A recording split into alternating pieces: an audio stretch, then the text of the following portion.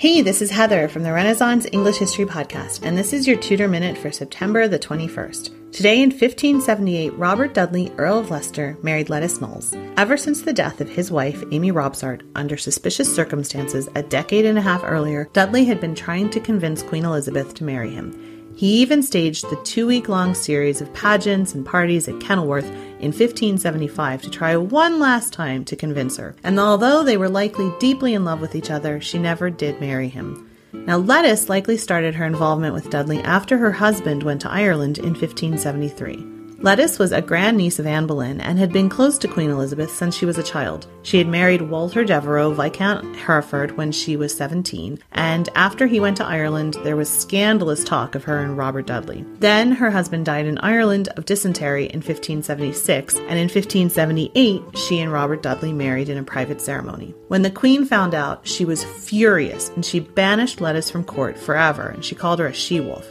She never forgave Lettice for taking what she was unable to.